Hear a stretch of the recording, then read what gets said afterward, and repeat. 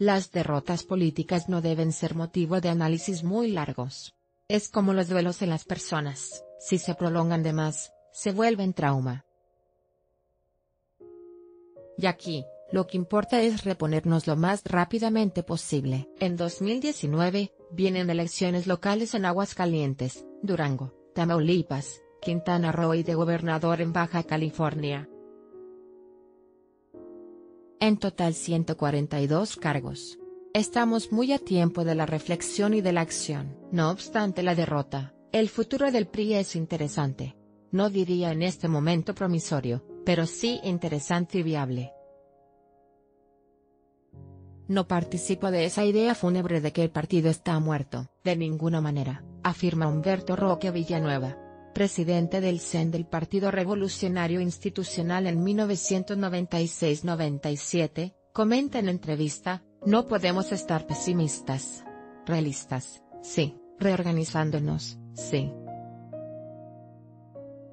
Hay cosas que no funcionan y que no tiene caso que las inventemos sobre la reciente reunión de los expresidentes del tricolor con la actual dirigente nacional Claudia Ruiz Massieu, expresa que fue para darle estabilidad a la dirigencia nacional del partido, porque en un periodo muy corto se han sucedido muchos presidentes. Creo que Claudia es la quinta.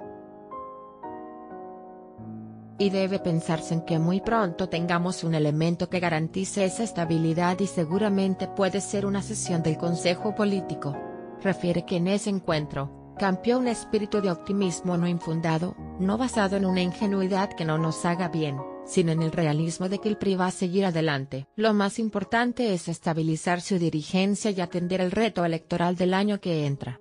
Entonces, ¿el espíritu es de unidad en el tricolor?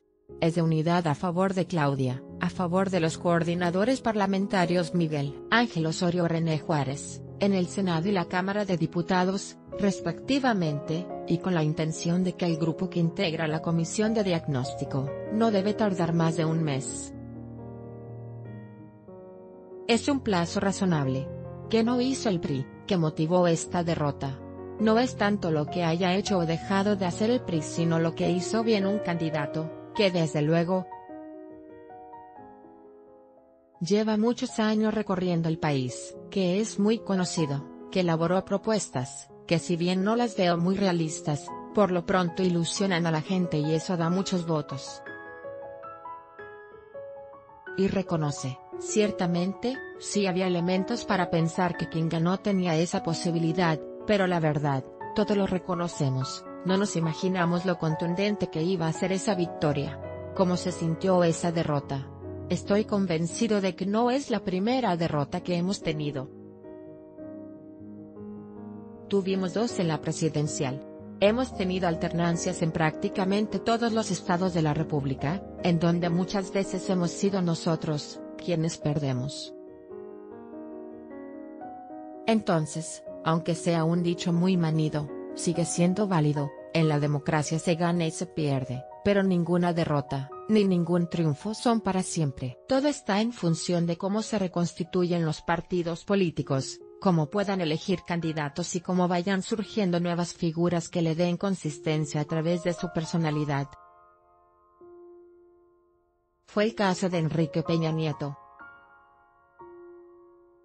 Después de 12 años de gobierno del PAN, surgió desde el gobierno de un estado y alcanzó un nivel de popularidad bastante grande, precandidato a la presidencia de la República en 1999, que ganó Francisco Labastida, el ex dirigente nacional del tricolor, recuerda, la historia del partido nos habla del papel importante que jugó en todo el siglo XX.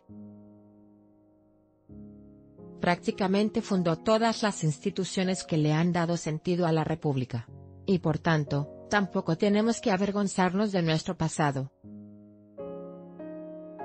Tenemos sí, que ver con mayor cuidado el futuro con un optimismo razonable, pero sobre todo con autocrítica y ver lo que la población desea de los partidos políticos, cosas diferentes a las que les pudimos ofrecer en el pasado reciente. O sea, modernizarse, modernizarnos y estar a tono con la sociedad.